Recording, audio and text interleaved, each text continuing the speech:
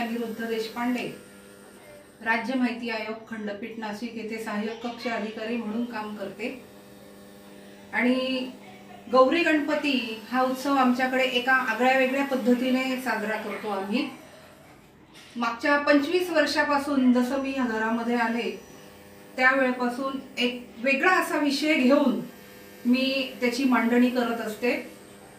समाज प्रबोधन व्हावं हा त्याचा मागचा एक महत्त्वाचा माझा उद्देश असतो. की समाजाचं आपण काहीतरी देणं लागतो आणि त्या हिशोबाने थोडंसं काहीतरी समाजात आपण दिलं पाहिजे.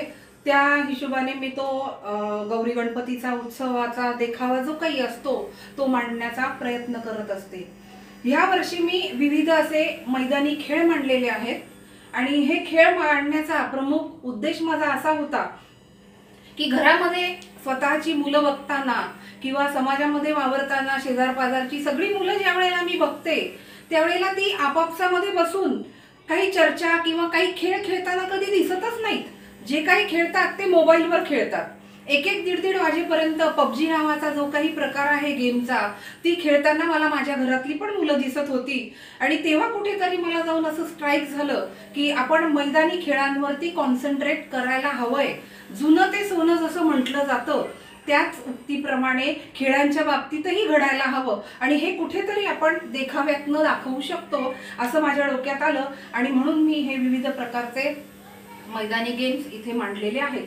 आता तुम्ही जर हा चक्री जो आमच्या वेळेला आम्ही भयानक हा खेळ खेळायचो हा जर तुम्ही गेम बघितला तर चक्री हे उत्तम कॉन्सन्ट्रेशनचं वगैरे द्योतक आहे.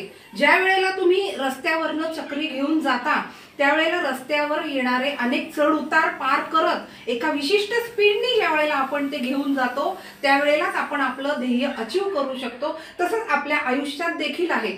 आलेले जे काही हर्डल्स आहेत चढ उतार जे काही आहेत त्यांना जेव्हा तुम्ही विशिष्ट गतीने असं पुढे घेऊन जाल त्याच वेळेला आपल्याला आपल्या आयुष्यात देखील आपले ध्येय प्राप्त होणार आहेत. तुम्ही विट्टी दांडू घ्या तुम्ही हे गोट्या घ्या हे सगळे गेम्स तुम्हाला काय शिकवतात? कॉन्सन्ट्रेशनच शिकवतात. जेव्हा तुम्ही त्या कॉन्सन्ट्रेशननी त्यांच्यावरती वार कराल प्रहार कराल त्याच वेळेला तुमचं ध्येय तुम्हाला अचीव होणार आहे. आता इकडे जर आपण बघितलं तर इकडे ही मुलगी लंगडी खेळतीये. लंगडी हे कशाचं द्योतक आहे? तर तुमचं आयुष्य तुमचं स्वतःला तुम्ही बॅलन्स करण्याचं द्योतक आहे. बरं तेच सांगेन की आयुष्यात चढ उतार हे येतच असतात. पण जसं लंगडीमध्ये एका पायावरती आपण आपलं आयुष्य आपलं आपलं स्वतःला आपण जसं बॅलन्स करून एक एक भिडो आउट करत जातो तसंच ते आहे. आयुष्यात सुद्धा आयुष्य तुमचं बॅलन्स करता जर आलं ना खरंच तुम्ही तुमचं ध्येय खूप छान पद्धतीने गाठू शकतात. तिकडे लगोरी दाखवलाय मी.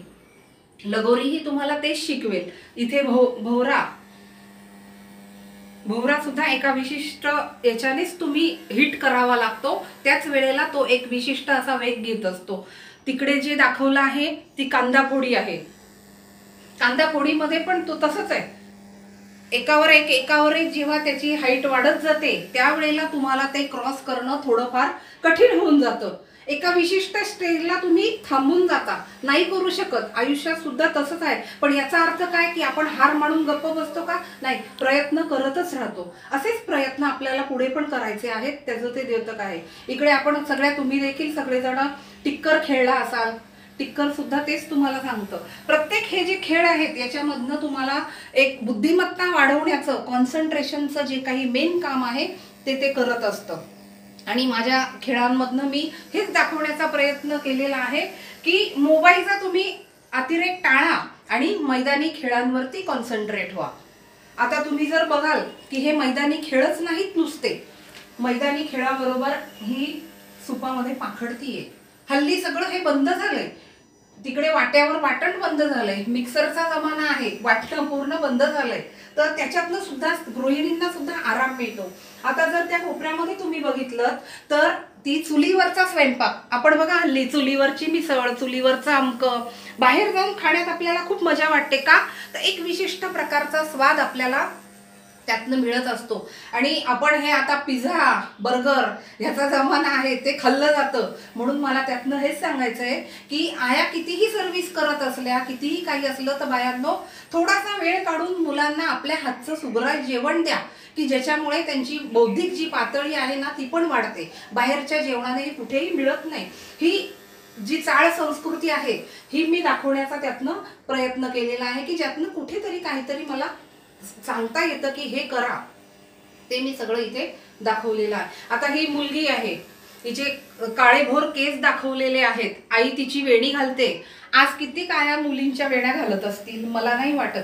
बॉपकट असते मुलींची शॉर्ट केस असतात. त्याच्यामुळे हा प्रकार बंद झालाय. आणि ते पण मी त्यातनं दाखवण्याचा प्रयत्न केला की पूर्वी आमची आई असं करायची आम्हाला. आमचे केस पण लांब लांब होते. आता आपण सगळंच म्हणजे शॉर्ट झालंय. त्याच्यामुळे हे असं न- व्हायला नको आहे. पूर्वीचं जे आता ही पतंग उडवणारी मुलं. पतंग उडव पूर्वी पत्र्यावरती पतंग उडवण्याचा फार एक प्रघात होता. त्यातनं बरेच ऍक्सिडेंट झाले. ती वाईट गोष्ट आहे. हे सगळं मान्य असताना देखील काही मुलं पतंग उडवण्याचं धाडस करतच होती आणि अजूनही करतात.